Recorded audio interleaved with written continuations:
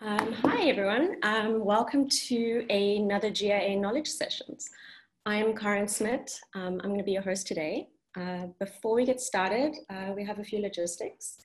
Um, so everyone attending is going to be automatically muted. Um, if you do have a question, please feel free to submit it using the Q&A feature. Um, you'll see that at the bottom of your screen.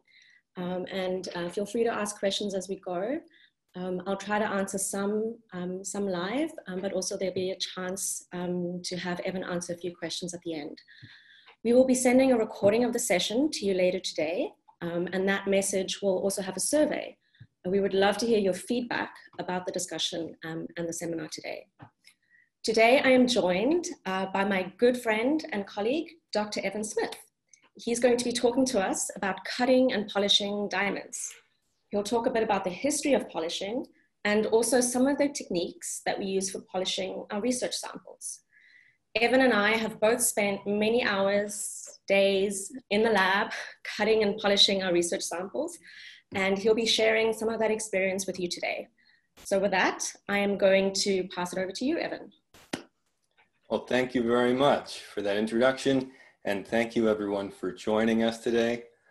Uh, so maybe about 10 years ago when I was in grad school, I had the task of polishing some pieces of diamond for, for research, for studying the internal structure of the diamond and also for studying inclusions trapped in the diamond. And I remember being really struck by how counterintuitive some of the processes were involved in actually polishing a diamond. And I was really fascinated by the process. So today I kind of want to give you a bit of an overview of some of the technology involved in cutting and polishing diamond and what those tools actually look like. And I'm also going to show you some diamonds that I've polished myself. And for full disclosure here, I've never actually cut and polished a faceted, beautiful gemstone. I'm polishing things for uh, research purposes, so more like polishing things into a, a slab, which is very simplistic, but it still has given me a, a great appreciation for the, the technology at play. So for many, many years, uh, since diamond was discovered and started being uh, sort of admired as a beautiful object, for you know over a thousand years, it was appreciated in its you know natural crystal form. Um, the Romans put it in rings even, and these are some rings from maybe the third or fourth century. And you can see they're mounted as this beautiful octahedral crystal. And this was sort of the most coveted form you would get diamond in. And I've called it here Diamond the Unconquerable because this was sort of it. You either had a crystal of diamond that you admired, or if it was something more inferior in quality, it was crushed up and used as a hard material, as a, an abrasive to actually grind other materials or for engraving things uh, like other gemstones or rock crystal. Because uh, it's so hard, it's a great engraving material. But the diamond crystals themselves were enjoyed in their, their rough state. Now, today, we're used to seeing diamonds everywhere in their cut and polished state, these beautiful scintillating gemstones. And the big revolution that sort of allowed this to be possible was diamond polishing. And this is sort of what a, a modern polishing setup looks like. You've got this in the background, this wheel is it called a scaife. It's made of cast iron or steel, and it's embedded with many tiny diamond particles. And then the diamond itself is held in this uh, tang here. Um, let's see if I have a pointer. Yeah. Yeah, so the diamond is, held in this tang here and uh, it's sort of held in place and then this uh, thing you can hold on to, this is what's called the tang. And then this whole thing is held against this polishing wheel here and diamond material is sort of sloughed off and you're left with this beautiful mirror finish uh, facet and this is what people have been using for hundreds of years since the end of the Middle Ages to allow uh, diamonds to be fashioned into these sparkling uh, gemstones. Okay, so this is sort of the, the major steps involved in taking a, a rough uh, diamond through to a, a, beautiful faceted diamond here. you could break some of these steps up further. Um, I, in fact, might even simplify these a little bit uh, by um, calling calling these uh, the, these first intermediate steps sort of shaping the rough diamond into something that you're going to actually then polish sort of mirror facets onto. So you start with this rough crystal and then you sort of break it or saw it into some kind of a form and then give it a, an outline like a round outline or a, some other fancy shape by actually shaping the girdle of the diamond. And then the last part of this process is, is where you'd be using the equipment I just showed you in the last slide, actually polishing these mirror finish facets on the diamond. Uh, now, in terms of shaping a diamond from a rough crystal into something else, I would say the most rudimentary technique would be breaking the diamond. And people had been breaking uh, diamonds long before they had been polishing them. And often when you break a diamond, it kind of shatters into a, a whole bunch of tiny, tiny fragments. Uh, but if you're very careful, you can actually exploit the diamond crystal structure to shape the diamond into something that you want. And you can control the way it breaks. So this is what I would call the most rudimentary method to reshape a diamond in a controlled way. And I think it, this is probably discovered uh, long before it was really used for fashioning gemstones. It wasn't really used extensively in gem manufacturing until the 16th century. But the idea is that diamond cleaves or breaks apart really perfectly in this 111 plane, which is the uh, octahedral crystal plane. So it's parallel to an octahedral crystal face. And if you look at uh, a diamond here, like on the bottom left, this is a diamond octahedron. And planes that are parallel to these octahedral faces are planes of weakness within the crystal structure, and the diamond can be split uh, almost perfectly along these planes. So in the middle here is a octahedral diamond crystal that has been split very cleanly along one of these planes. And this is accomplished uh, sort of on the, on the right here, you can see a diamond and it would have had a little notch or a kerf scratched into it. And the idea is that you put this little blade into that little notch and give it a, a little whack with a, a, little hammer or mallet. And the diamond should propagate from that little notch and, and actually make a crack that goes along this cleavage plane. So the, the kerf and the orientation of the diamond have to be planned out very carefully, keeping in mind the diamond crystal structure.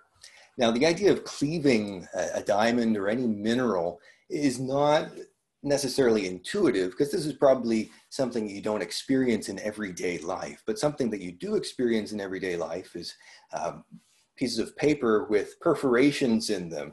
And this sheet of postage stamps for instance has these perforations in them and you can separate this sheet very easily along these perforations where you have sort of lines of pre-existing weakness within this sheet.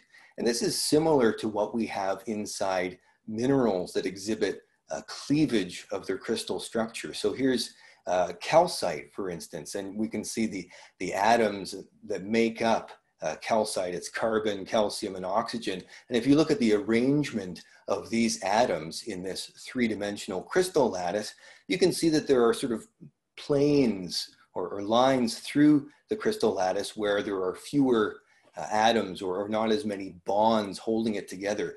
And these are actually planes that extend in three dimensions. And these are pre-existing planes of weakness, just like those perforations in the sheet of stamps. So you can actually break calcite apart really easily along these planes of weakness. So here's a crystal of calcite and it breaks apart along these planes to give you little rhombus shapes. Uh, now a similar thing happens in diamond, but the diamond crystal structure is a different shape. So here's a diamond crystal, and we're looking at an octahedron here. Here's one edge of an octahedron and the other edges. These are all 111 octahedral planes, and all of these should be planes of weakness within the diamond along which we can cleave it. So here, this plane on the, on the right, upper right edge, I've shown a dotted uh, red line here, and that's indicating uh, where we should expect to see a plane of weakness that you might be able to see in the diamond crystal structure itself. And if we look at the underlying crystal structure, this is greatly magnified, uh, but this is sort of what it looks like. And you can see that there are, uh, there's sort of a, a gap in the crystal structure almost. And this gap repeats um, every layer of atoms. You can see there's another plane of weakness. And this is for one uh, set of 111 planes, but you can also say there's another set of weak planes along this 111 direction. And although we can't see it very well in this orientation, there are two additional 111 sets where we could cleave this diamond.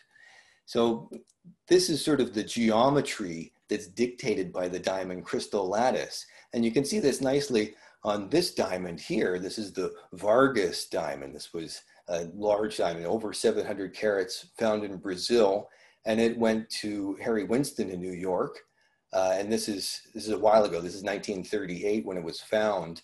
And this diamond was cleaved into pieces before it went on to be cut and polished. It's actually cleaved into 23 pieces. And you can see it's sort of been inked out here, drawings on the, the surface of the crystal. And these are the traces of those octahedral planes along which it's planned to cleave this diamond. A more modern example of cleaving to sort of shape a rough diamond is this diamond here which I had the pleasure of seeing myself in its rough state.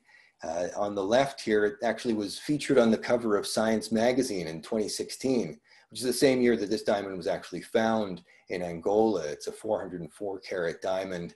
And in this image on the left, you can see a faint line here that's uh, pointed out with these red arrows.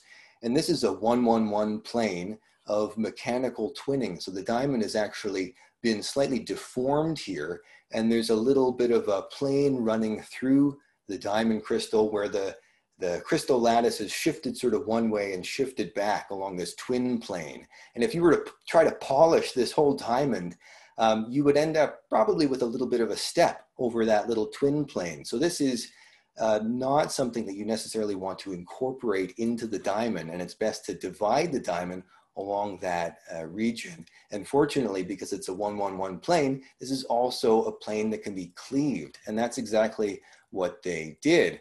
This small image in the, the upper uh, portion of the slide, they're actually scratching a kerf, a little notch to start this cleave into that diamond. And then on the bottom uh, here in my hand, you can see where they actually cleaved right along that same very line. And that uh, piece that they cleaved off is just sitting at the bottom here. Now back to our little uh, flow chart here that's sort of simplified. Uh, we want to talk now about the other major method of, of, sort of shaping a rough diamond into something that might go on to be bruted and faceted, and that is sawing. So sawing is a, a method that came about a little bit later than um, the actual polishing method, which was uh, sort of uh, adopted in the Middle Ages. Uh, polishing sort of was established for a while before people started sawing diamonds regularly. But this was described uh, in some detail in a book by De Laet in 1647. And the technique of sawing diamonds was described as having a, a thin wire in sort of a bow saw uh, and this is a modern saw I just found on Lee Valley Tools, but uh, the diamond saw would have been similar to this where you have a, a frame holding a wire and this little wire is anointed with oil and diamond powder to give it some grit. And the idea is that you would just sit there and saw the diamond. This would have taken a long, long time. But the advantage is that this sawing technique can let you divide a diamond along cubic planes, the one one or one zero zero planes, as well as dodecahedral planes, one one zero planes. So it gives you some more freedom as to how you might actually divide up a large piece of rough. Remember, if you're trying to cleave a diamond, you're restricted to the cleavage plane, which is the 111 plane. So having the ability to cleave or saw gives you a lot more freedom in terms of how you're going to divide up a rough diamond. And it's like we said, this would have been very, very labor intensive, uh, but it was used well into the 19th century. And around that time, um, this device was invented. This is the motorized diamond saw, where instead of having a uh, wire that's sort of embedded with diamond powder. Now you've got a disc rotating continuously, driven by a belt, or now maybe even directly driven by a motor, but this rotating disc uh, really saves you the, the manual labor of having to sit there with the wire and, and saw away the diamond. So this uh, disc is made of copper or phosphor bronze, and it has little tiny diamond particles in it. And again, you can saw the diamond within two predominant directions uh, shown here on the left, either the cube plane, which is also known as the four point or sawing plane. And the image on the right that shows an octahedral diamond crystal being sawed along this cube plane. Uh, you can also saw diamonds on the two point plane, which is actually a, a one, one, zero or dodecahedral plane.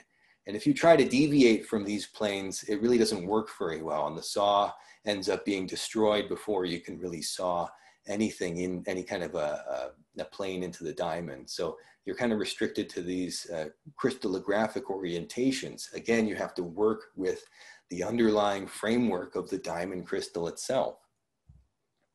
So sawing uh, was actually used for this diamond here, the Star of Sierra Leone, which was discovered in Sierra Leone in 1972. And again, uh, we're talking about Harry Winston here. This is where the diamond went. And they used a combination of mechanical sawing. So again, we see one of these uh, bronze discs with diamond embedded in it to saw the, the Star of Sierra Leone. But this diamond was also partially cleaved to, to break it up into smaller uh, fragments that would have been cut and polished. So both of these techniques were, were used for the Star of Sierra Leone. And later in the 1970s, uh, there was the advent of laser cutting. And laser cutting has come a long way now and is, is being used more and more. It, has a number of advantages. It's much, much faster and it's a little bit easier to control, but the, the uh, the advantage is that you can not only cut planes into the diamond, you can do a lot of things to shape diamond using lasers. So this is sort of the the early laser technology where you would have a laser being focused onto the diamond. And the, I think one of the things that happened here, in addition to the invention of lasers, was good uh, computer control to allow the, the diamond to be moved back and forth so that the, the laser can actually cut out a pattern. And the diamond is sort of cut into a, a, a wedge is almost cut out of the diamond. Uh, and this diamond being cut here would end up having sort of a, a wedge shape cut through it here. And the reason it has to be cut into this sort of wedge shape is because the laser has to be focused down to a point. Uh, so in, it, in order to be able to focus the laser down to a point when you're getting towards the end of this cut, you need to have space at, at the upper end where you started this cut for the light to be sort of converged into a point where it's actually ablating the, the diamond material. So we can look at this sort of focusing of the laser here. Uh, so here you can imagine the, the laser coming in, being focused through a lens, and at some distance away from the lens, it's focused to a small point, and that's where we want the uh, diamond to be that you're actually cutting away. So there's a, a, a strong uh, dependence on the, the distance of the diamond from this lens that's condensing it. And this is a bit of a limitation to the technique because you have to be very careful about how far away the diamond is. Uh, and a more recent development in this uh, technology of laser cutting is this, which is a, a water jet uh, kind of, of laser. So here the laser is condensed, but then the laser is actually fed into a water jet. And the water jet behaves almost like a fiber optic cable. So rather than having to worry about focusing the laser to a point, the laser is already contained within this narrow little jet of water. And the jet can be the, the width of a human hair. So it's very, very fine. Uh, and this is kind of an interesting thing to me, just to imagine this laser bouncing around inside this column of water and it's trapped until it, it reaches the surface of the diamond and then is uh, ablating the diamond material.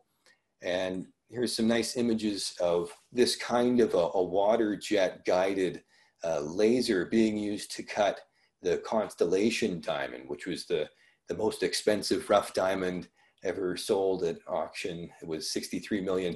And here it is being uh, cut apart by a laser. So this is the first cut they made into this diamond. And you can see the cut surface here is very sharp, well controlled. And you can see this beam uh, on the, the left-hand side is very, very narrow and tightly focused. So you have to worry a little bit less about the distance between the diamond and the laser and controlling that. So you, you end up with sort of a, a bit more flexibility. Now not shown here, but you can do a lot more fancy things with the laser than just cut a plane through a diamond. You can actually cut uh, curved surfaces sometimes or, or cut a wedge, which is called pie cutting to cut uh, you know, a pie-shaped wedge out of a diamond. So there's a lot of freedom uh, that's allowed through using laser cutting to sort of shape some of these rough diamonds. And this even extends into um, beyond just sawing, traditional sawing, but actually shaping diamonds and sort of eliminating uh, some of the traditional grinding methods of bruting to give diamond its shape. You can actually do a lot of this just by laser cutting. So here's a just an image I took from a catalog advertising this uh, laser cutting system, but it has some images showing how you might shape a rough diamond into something that's almost ready to just be faceted uh, right away. It's actually done a lot of the work that might have taken several steps before. So the laser cutting is a really powerful uh, technique. And it's actually been used even for more uh, adventurous endeavors like uh, carving diamonds. Now, these diamonds here have been carved using laser cutting, but also a number of other more proprietary techniques that are kind of a secret to the carver. Uh, but I just wanted to show that it's possible uh, now to, to really make some incredible three-dimensional shapes uh, out of diamond using some modern technology. So back to our flow chart here. Uh, we went from the, the rough diamond and you can either cleave it or saw it to make it into a shape. The next step uh, in this flow sheet here is bruting or sort of giving the diamond its outline of the girdle. And this has traditionally been done by uh, bruting, so grinding sort of the outline of the diamond girdle, usually by turning a diamond on a lathe and even turning it against another diamond. So the two diamonds sort of butt up against one another and grind one another away until you have a round outline of the, the girdle. And you can have two diamonds grinding up against one another, but you can also have uh, a, a, diamond being bruted by sort of a, a diamond workpiece that's um, embedded with diamond fragments. And this works not only for uh, a round uh, bruting where you would be making a, a, round brilliant diamond, you can also have diamonds being turned a little bit more off axis or uh, computer controlled bruting that allows you to fashion the outline of the diamond into a fancy shape like a, a cushion or a marquise or a, a square, something like that. Um, one of the interesting things about bruting here is that it actually produces diamond dust. And diamond dust, of course, is something that you need for uh, sawing diamonds and for polishing diamonds. So for as long as people have been bruting diamonds, they've been collecting that dust because it's a valuable uh, input for some of these other means to process diamonds into these beautiful faceted gemstones. So now I want to move on to polishing. And this is really the, the part that, that has allowed diamonds to be um, enjoyed in this uh, sparkly form that we we know and love them in. And this is the the thing that really took me by surprise 10 years ago when I was tasked with polishing diamonds. So people have been polishing diamonds since the end of the Middle Ages. The exact origins are not really well documented, probably because a lot of these things are sort of trade secrets if you're the one to figure out how to polish diamonds and you're the only one on the block who knows how, you've got a huge advantage and you're not going to share your secrets, secrets very widely.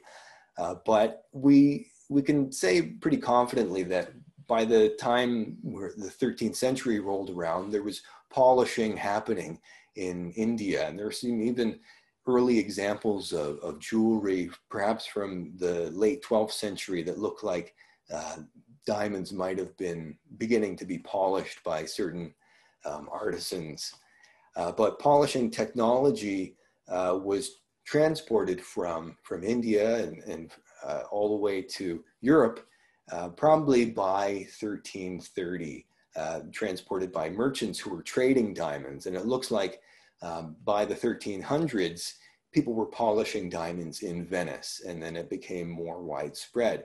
But it wasn't until um, 1568, so we have this uh, diamond polishing technique being documented in detail by a goldsmith and sculptor named Cellini in Florence. So the first really good detailed description we have of the methods being used is in 1568. And this uh, engraved plate on the, on the right here, this is depicting uh, what's actually described by Cellini. So this is a depiction of 16th century polishing here. And what's interesting is that a lot of what they're doing in this picture is pretty similar and recognizable to uh, the same polishing methods used today. So in this picture, you can see uh, here outlined in blue, this is a polishing scaife rotating very quickly, and it's set on this uh, in red here, this outlined quill. And this is being driven by a belt that's attached to this big wheel out here, and the wheel is driven by hand. And this uh, is rotating very, very quickly, probably two or 3,000 RPM, just like it is today. And this uh, person at the left here is holding on to uh, a tang that's holding a diamond, uh, probably right here. So a lot of what they're doing in this picture is recognizable and comparable to what we're doing today. Now, if we look at, again, what we're doing today, this is me trying to polish a diamond and we've got the same sort of rotating scaife. It's a cast iron embedded with diamond particles and the diamond is being held in a, a dop and tang and it's being uh, sort of held up against this rotating scaife and polished. So the mechanisms are essentially unchanged here.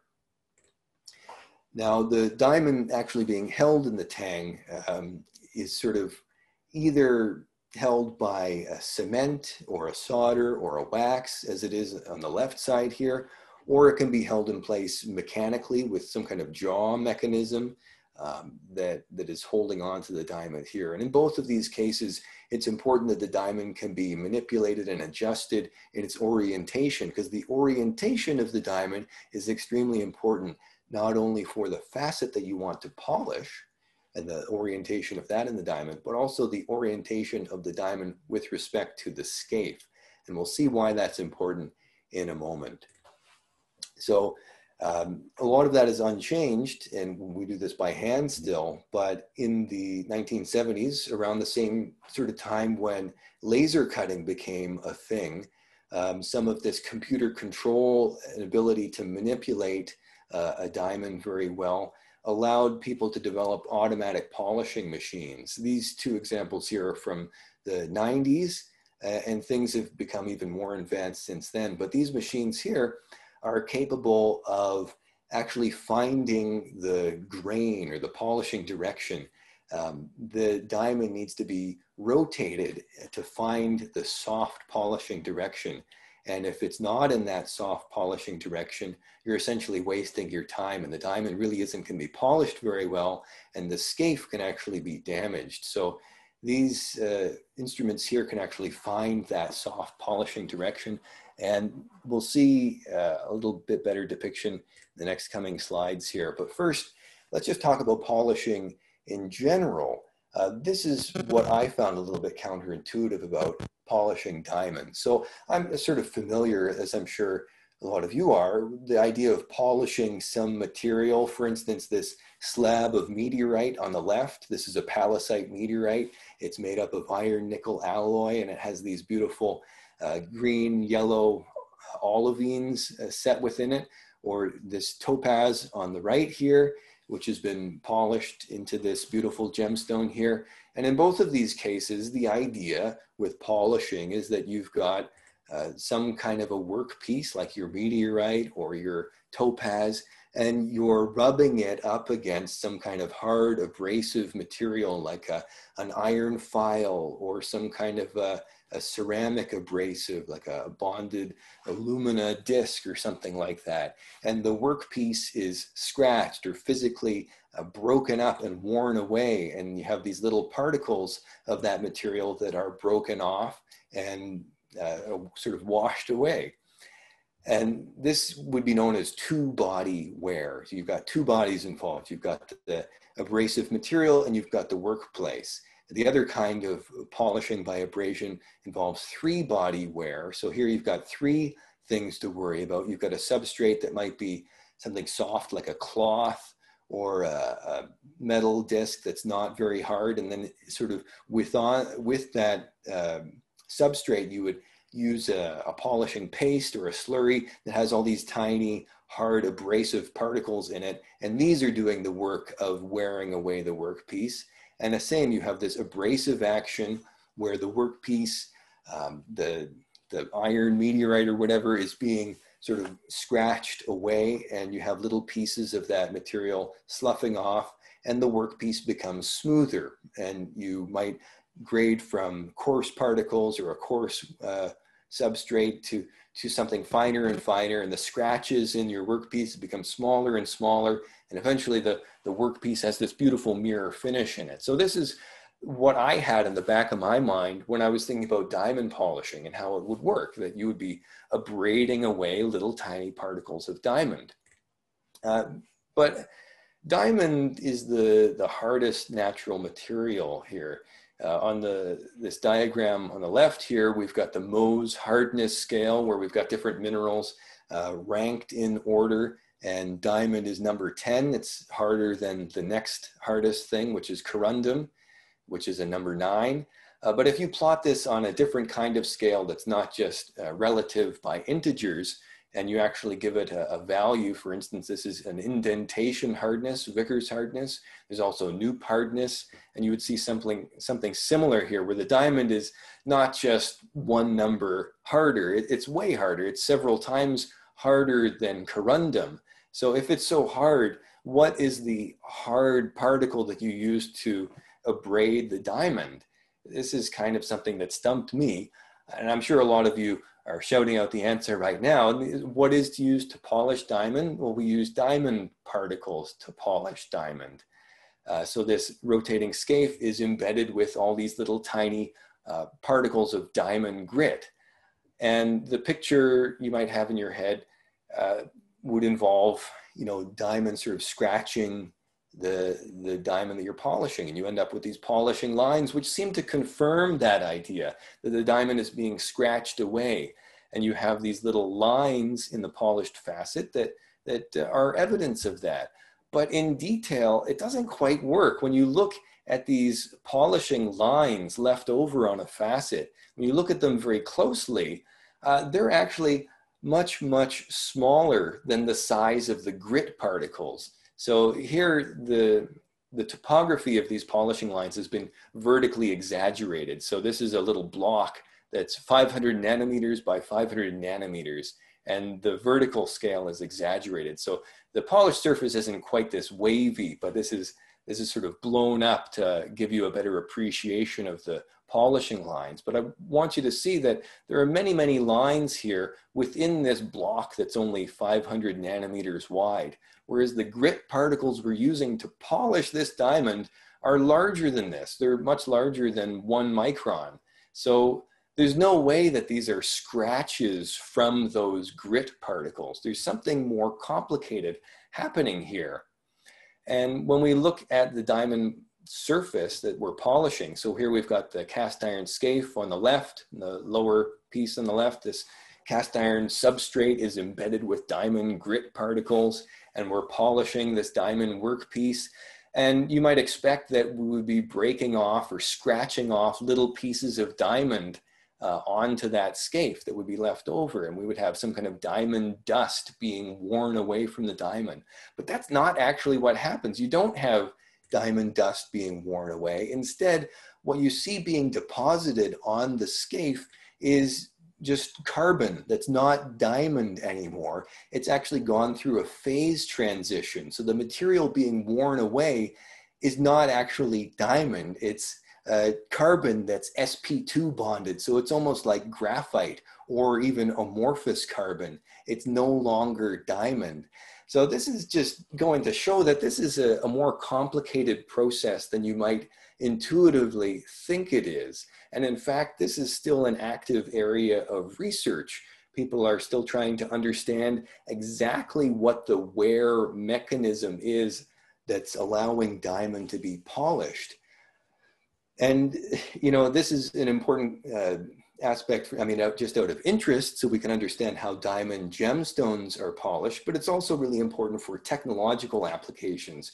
If you're trying to polish diamond uh, windows for a laser or some other optical device, or diamond lenses, or polishing uh, diamonds, for instance, for a, a timepiece, like you might want to use diamond because it's so hard and resistant to wear. You might want to use diamond in a watch, for instance. And for all of these applications, you need to be able to polish really excellent surfaces on diamond. So that's why diamond polishing is such a, uh, continues to be an active area of research. And it's just interesting that uh, we don't fully understand the process here.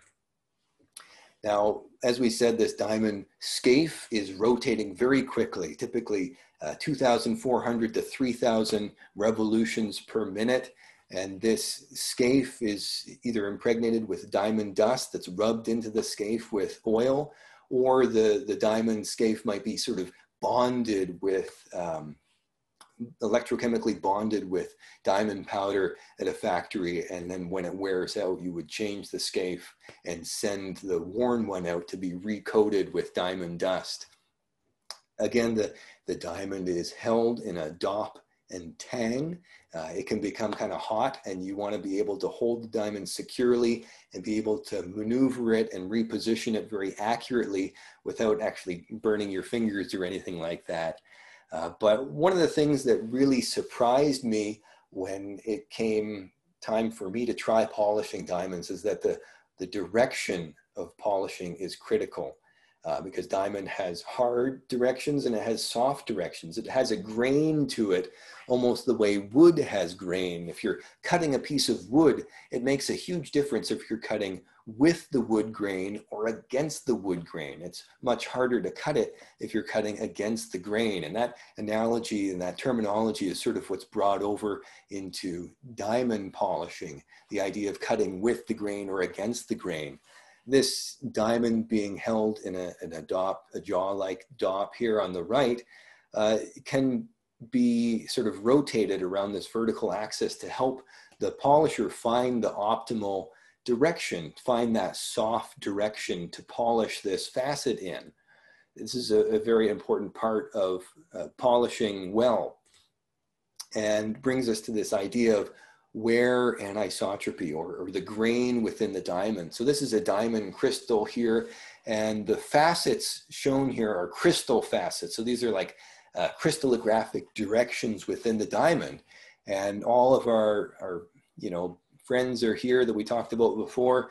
We've got the 100 surface, the cubic surface within the diamond crystal, the 110 surface, the dodecahedral plane, and these tiny triangles here, those are the 111 or the octahedral crystal planes. And these arrows shown here are depicting uh, sort of the relative ease with which diamond can be polished in any given direction. And you'll notice that it's different for all these different orientations, these different facet orientations. And within each facet, the direction in which you're trying to polish uh, really matters to how quickly the diamond can be worn away. So for instance, if we, we take a, a closer look at this dodecahedral or 110 surface, and we're gonna try to polish a facet in that orientation, this is what it might look like. So here we've got the, the diamond in our tang and we can rotate it about this axis to help us find the, the soft grain, the soft polishing direction. And this is what that facet might look like. So here we're seeing the facet being pushed right up against the, the scaife here. And in this uh, upper left example here, in, in the middle of the screen, the, the diamond uh, facet is being held against the, the rotating scaife and the green arrows show the direction of the, the scaife. These diamond grit particles are being dragged across the sign, this diamond surface and they're going with these little tiny arrows. This is a hard direction. And if you tried to polish this facet in this direction, it wouldn't work very well. The diamond uh, wouldn't get a very nice polish to it, and the wear rate would be extremely slow, and it would actually be damaging the surface of the scaife and kind of disrupting uh, all the little grit particles and perhaps even gouging the surface of the scaife.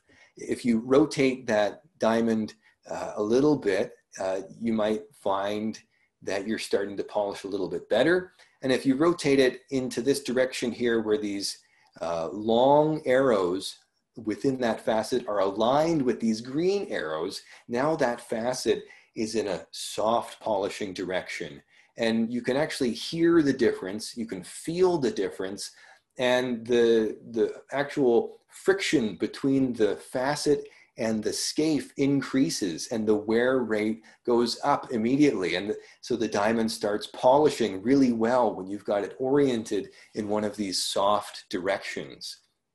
Now, if we look at some of the other uh, sort of facet directions in this little uh, cartoon crystal here, we can see uh, what it looks like if you were to rotate those facets around, um, around this sort of red axis here if you're rotating the diamond to see where that soft uh, direction is, we can actually see that in this graph here. So uh, first, let's look at that dodecahedral uh, facet. We were just looking at it.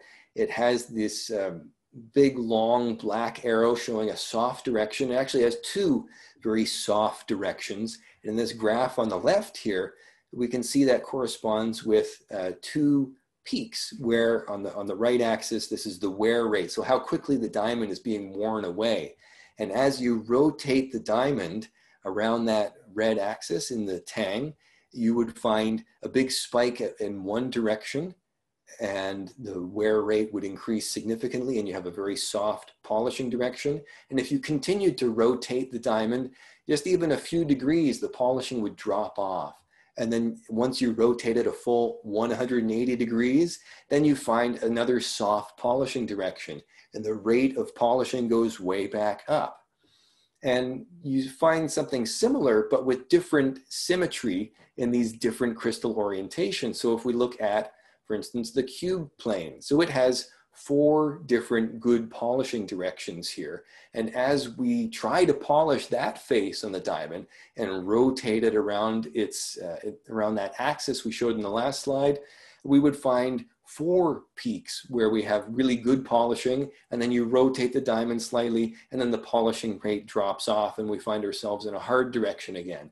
And then you continue to rotate the diamond and it picks up again. You find yourself in a soft polishing direction again. And if we look at the octahedral face, this is actually one that has very, very low polishing rates. And typically, uh, people avoid trying to polish on a 111 or octahedral face because the rate of polishing is very, very low and the quality of polishing is very, very poor. Uh, but it does have some slight ability to polish and it does have uh, three reasonable polishing directions. But in general, um, people try to avoid polishing on this specific orientation. And you might try to reorient the facet a little bit to improve the, the polishing rate and the quality of that polished surface. Now, the, the sort of reason for this amazing directional hardness within the diamond has to do again with the underlying crystal lattice the, the way the geometry of the sort of molecular bonds in the crystal lattice have a huge effect on the way it polishes. And if you look at these three different uh, facets that we showed here, the, the dodecahedral facet, the, the cubic facet, and the octahedral facet, the underlying crystal structure looks very different in each case. And that's the sort of the reason why they behave so differently and why they have this different symmetry to them. Now here, what we're showing is the speed of the scaife. So we talked about it rotating at a speed of around 3000 RPM. And if you had a, a that was about 30 centimeters in diameter, the outer edge of that would be rotating at about a linear velocity of 30 meters a second. So if you just looked at the edge of the scaife, you would see 30 meters worth of material go by every second. And if you speed up the revolutionary speed of the scaife, you would see a higher linear velocity. And if you slowed it down, you would see a lower linear velocity. And what this graph is showing you is that the rate of material being worn away is strongly dependent on that rotational velocity. So most uh, diamond scaifes for polishing are rotating at around 3000 RPM. And there's a good reason for that because that's sort of a, a sweet spot where you have reasonable polishing, uh, where you might be up here at around six or eight microns, micrometers of material being polished away every minute. And if you go to a higher speed, well, you might get slightly higher rates of wear, but you would also get more heating of the diamond. And more importantly, the scaife itself begins to warm up and the diamond grit particles can move, migrate, become dislodged, and they become less effective. So at higher speeds, that wear rate actually starts to taper off. And if we look at the other end of this graph, uh, towards the lower speeds, you'll notice that this uh, red line, this trend, doesn't actually intersect the origin of this graph. So it doesn't go to zero, zero. If you slow down the scaife speed below some threshold, the polishing really stops. Um, and it, it, doesn't sort of trend right down into a, a wear rate of zero, which suggests that there is some kind of a minimum speed. You have to be up to a certain speed, almost like a, in Back to the Future, you have to be, you know, fast enough in the DeLorean to hit that sweet spot where you can actually uh, travel through time. So here you have to be rotating the scaife at a fast enough speed before you have enough of this activation energy to activate the process that's polishing diamonds. And again, we don't fully understand what that mechanism is, but it's strongly dependent on the rotational speed of the scaife. Another thing that factors or that factors heavily on the polishing rate is how much pressure is being put on that diamond that's being polished. So in this graph, again on the bottom, we've got sort of the speed of the scaife rotating and we've got wear rate vertically again. Uh, but now we've got four different lines here showing harder and harder um, sort of pressure being put on that diamond. And polishers sometimes will weigh the diamond down with a little sandbag to increase the pressure that is exerted against the diamond. Um, now this results in higher wear rates. You can polish more material more quickly, but you also have more heating. So if you push really hard on the diamond to make it uh, polish more quickly, you end up with more heat.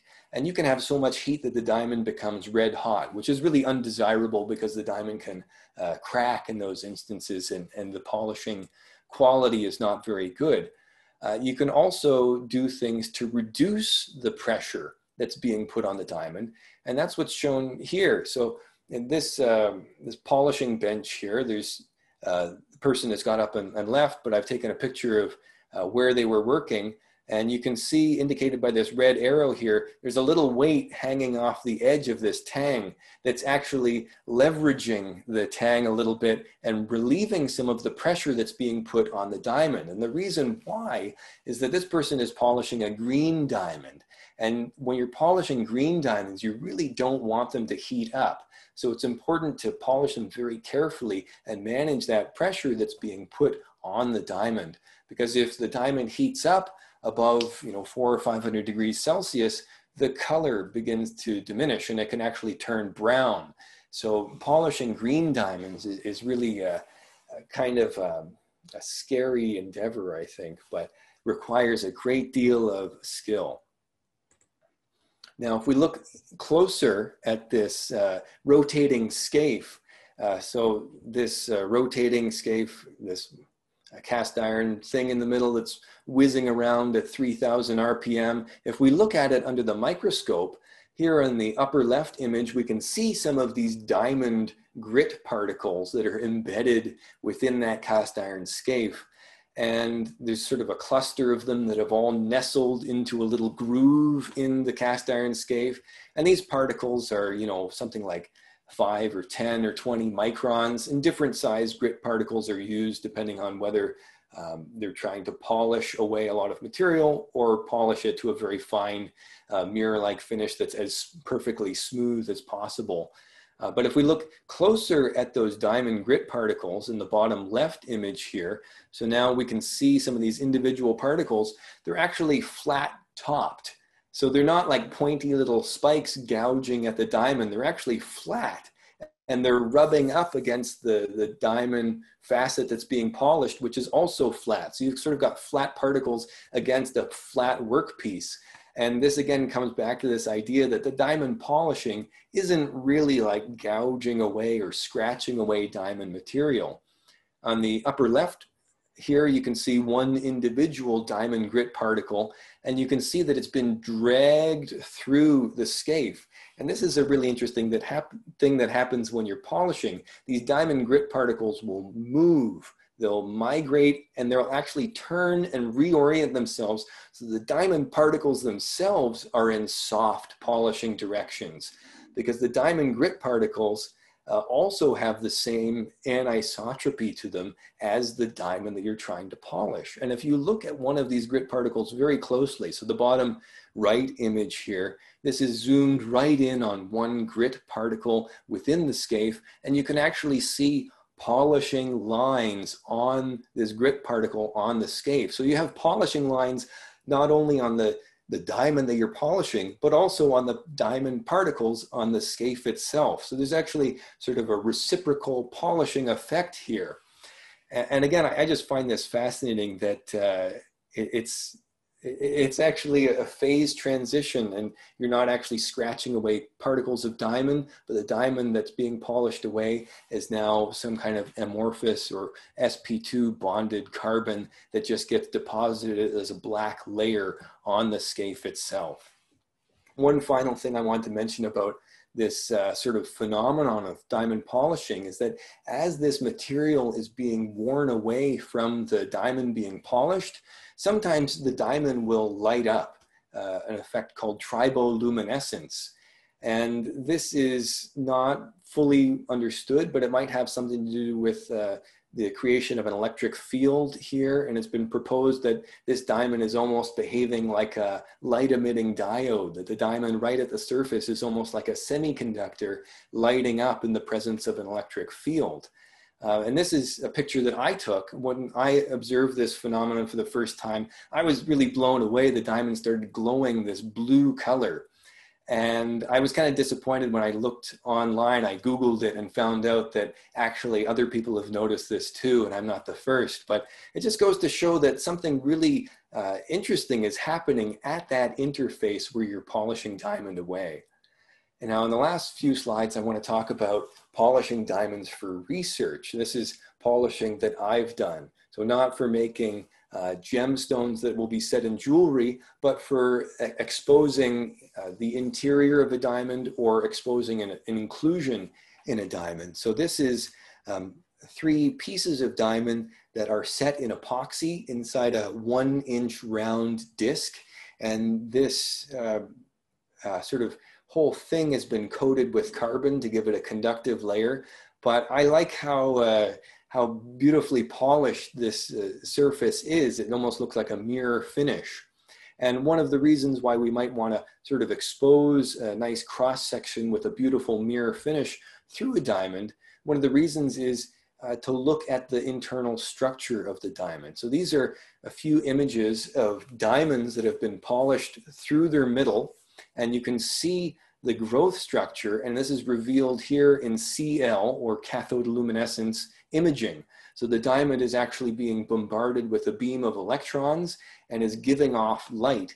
And you can see a contrast of dark and light that probably corresponds to the, variations in nitrogen concentration in the diamond. And it actually reveals some growth structures. And these diamonds can actually have rings or episodes of diamond growth that kind of look like tree rings.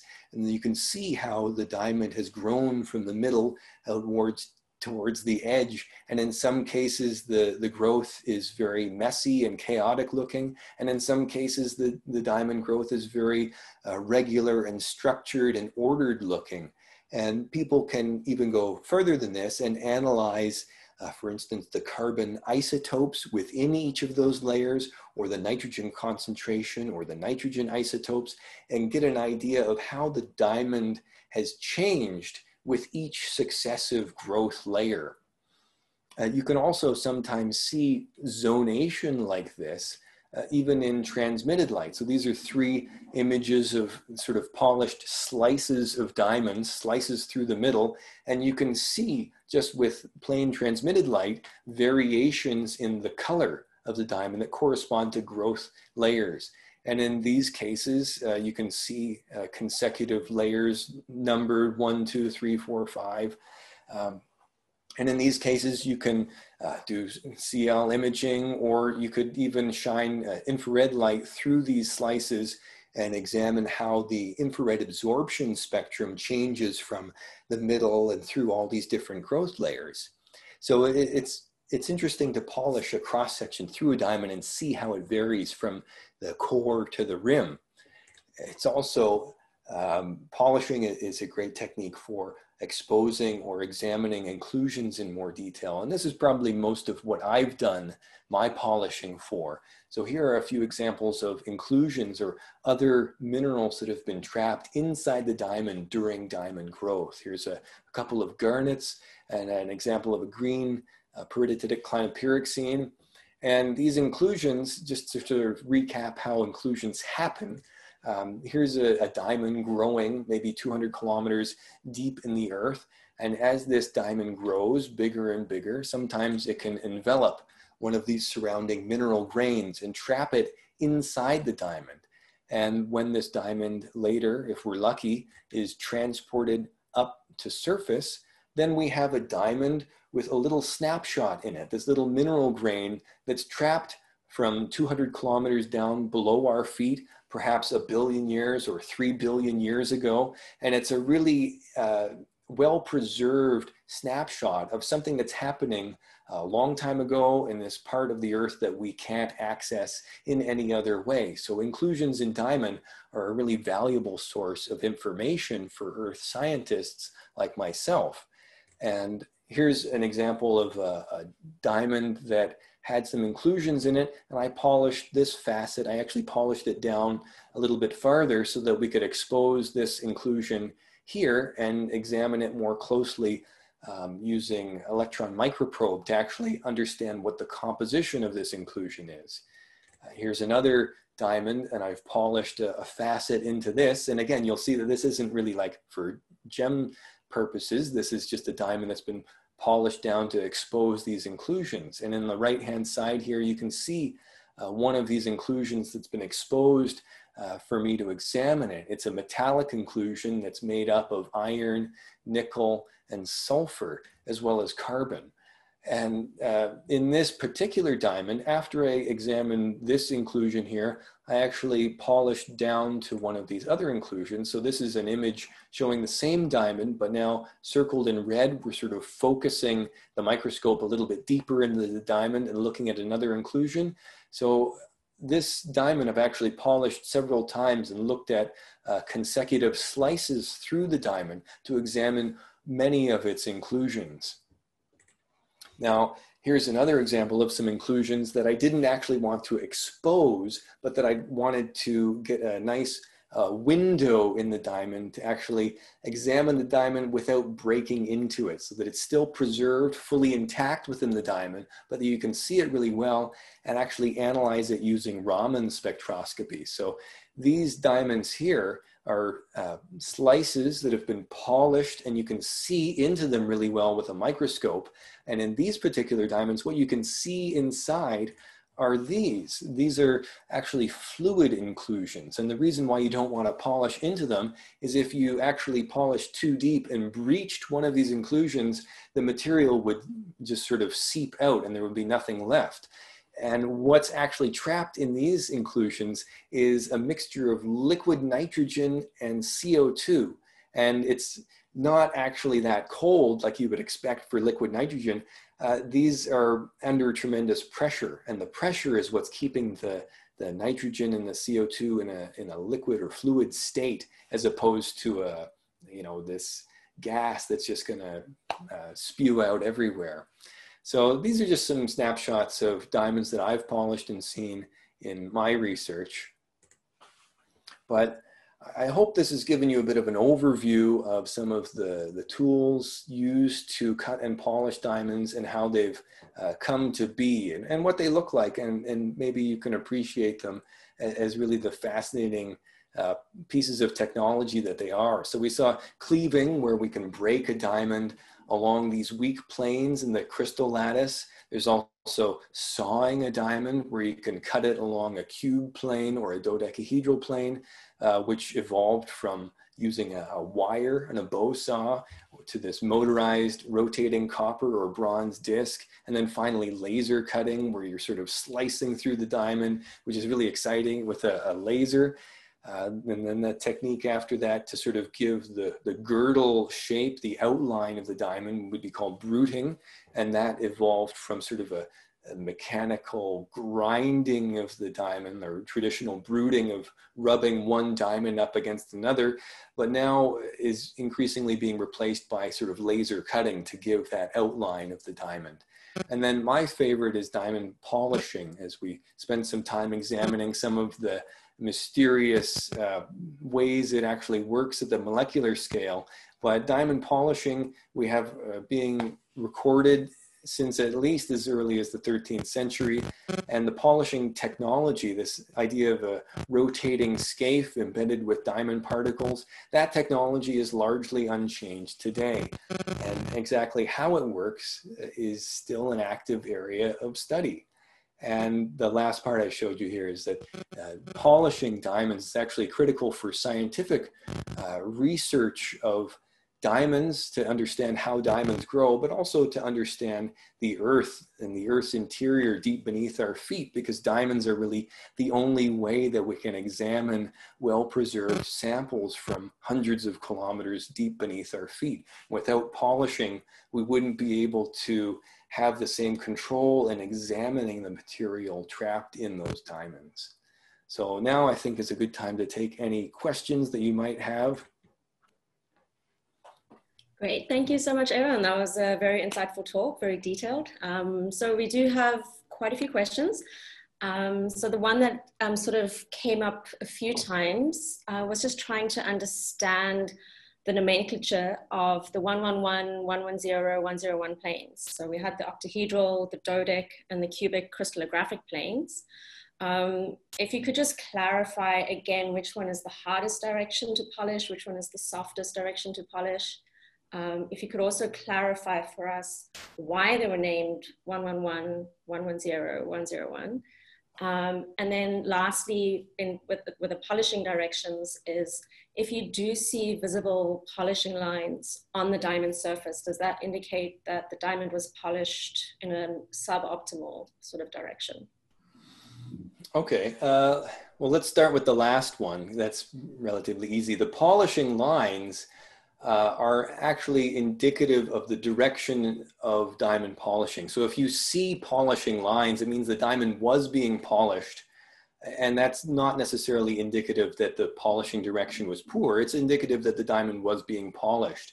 And when people are polishing diamonds, they're constantly checking to see the orientation of the polishing lines because the polishing lines will tell you uh, which direction to, to rotate the diamond into and align those polishing lines with the rotating direction of the scaife because you want those diamond grit particles on the scaife to be sort of uh, sort of skating past the diamond in the same orientation as those polishing lines to continue polishing on that facet. Uh, now back to those other questions. So um, yeah, so we, we were talking about three different sort of sets of, of uh, crystallographic planes within the diamond.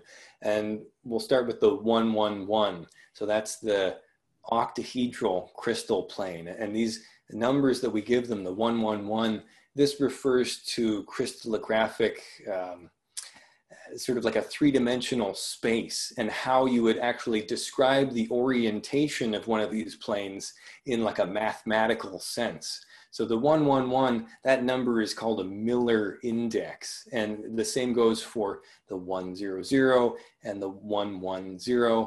Uh, these are all Miller indices to try to mathematically describe the orientation of that plane within three-dimensional space in reference to the crystal lattice underneath it. Um, so you've got the 111, that's the octahedral plane, and that's very, very difficult to polish. And there are three almost sort of soft directions within that, but really even the soft directions are not very, not very uh, soft. The, the 111 plane is very difficult to polish on. Uh, and then I also talked about the 100, the cubic plane. So those, um, those have four good polishing directions within them. And then you have the dodecahedral plane. The dodecahedral plane is the 110 plane, and that has two really good polishing directions.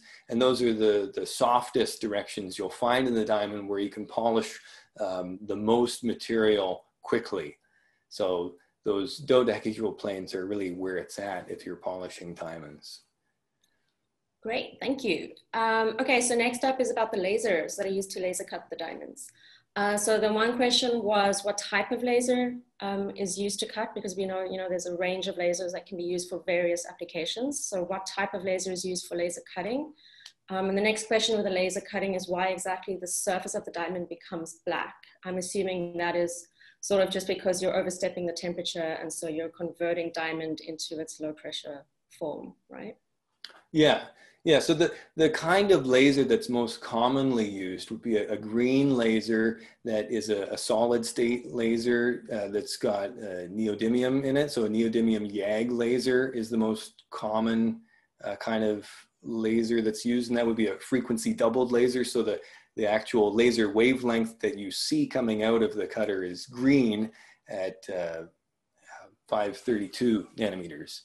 Um, and it's a usually a very very powerful laser so tens of watts uh, which is much much stronger than the the kind of laser that you would be using for Raman spectroscopy which is uh, milliwatts you know so it's a very very intense uh, laser and the black color that you see is essentially what you said it's it's diamond that uh, is no longer diamond so now it's carbon that's not in the the diamond crystal structure anymore it's reverted either to graphite or to amorphous uh, carbon. So it's almost like soot, uh, but it's adhered very strongly to the diamond itself. And in most cases, it has to be polished away.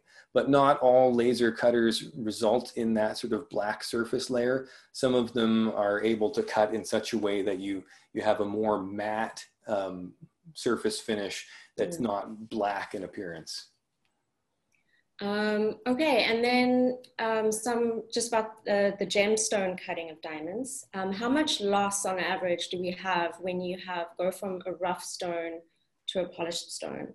So maybe if we just take the ideal example of a diamond octahedron and you're cutting two round brilliants from it, how much loss on average would you have um, for that situation or that scenario?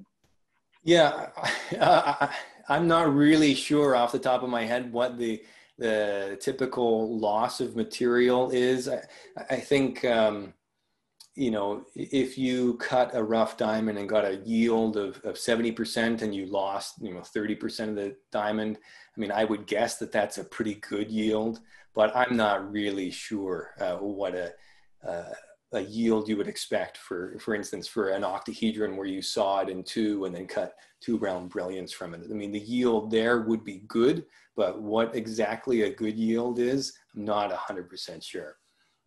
Um, okay, well, um, thank you very much, Evan. That was a very entertaining talk. Um, I've certainly never burnt my fingers while polishing diamonds. wink. Um, so um, thank you all for coming. Uh, thank you for joining us. And we hope that you will join us again next week.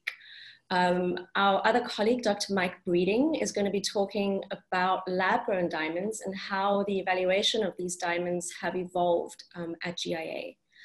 Also, uh, please follow GIA on all the social media channels. Um, we have Facebook, Twitter, Instagram, and LinkedIn.